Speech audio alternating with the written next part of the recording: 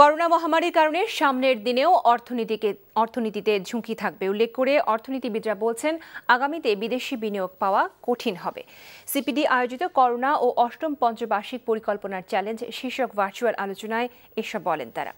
বিনিয়োগ না বাড়লেও দেশের জিডিপির প্রবৃদ্ধি কীভাবে বাড়ছে, সে প্রশ্নও তোলেন অনেকেই।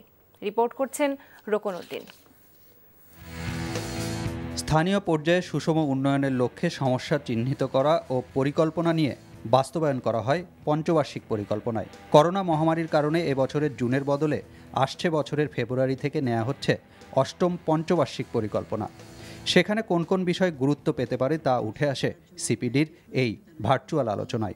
রাজস্ব আহরণ বলি, আমদানি বলি, রপ্তানি বলি, কর্মসংস্থান নতুন সৃষ্টির কথা বলি, ব্যক্তি খাতের বিনিয়োগের কথা বলি, বৈদেশিক বিনিয়োগের কথা বলি এগুলোতে কিন্তু আমাদেরই যে টার্গেট আমরা করেছি, তার সাথে কিন্তু বাস্তবের যে অর্জন হয়েছে, তার পার্থক্য কিন্তু ক্রমান্বয়ে বেড়েছে এবং এটা কোভিড পূর্ববর্তী বছর পর্যন্ত বেড়েছে। কোভিডে এসে এটা আরও ঘনীভূত হয়েছে। প্যান্ডেমিকের কারণে এসডিজি যে এজেন্ডাটা সেটাতে একটা বড় ধরনের আঘাত এসছে বিভিন্ন ক্ষেত্রে।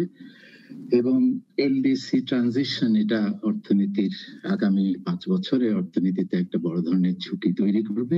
এ সময় গেল বছরগুলোতে কাঙ্ক্ষিত বিনিয়োগ না পেলেও জিডিপি প্রবৃদ্ধি কীভাবে বাড়ছে সে প্রশ্নও তোলেন অনেকে।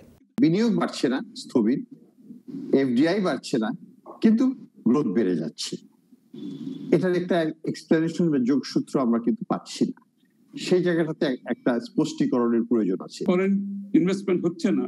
তো এগুলো করতে হলে তো আপনাকে তো একটা ক্রেডিবল ইলেকটেড গভর্নমেন্ট লাগবে। এই যে দেশে, বিদেশে টাকা যাচ্ছে, এই টাকাগুলো তো এইসব প্রজেক্ট থেকে, এই ধরনের কর্মকাণ্ড থেকে কিন্তু তারা বের করে টাকাগুলো এখানে পার্ক করতে পারছেন এবং বিদেশে পাঠানো হচ্ছে।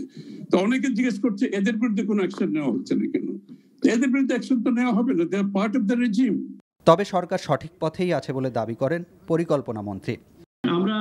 কনফিডেন্ট যে we are on the right track in that sense যে আমরা নিচের যে লেভেলটার কথা বললাম, স্বস্তি, ওই স্বস্তির মাত্রাটা একটু বাড়াতে চাচ্ছি আমরা।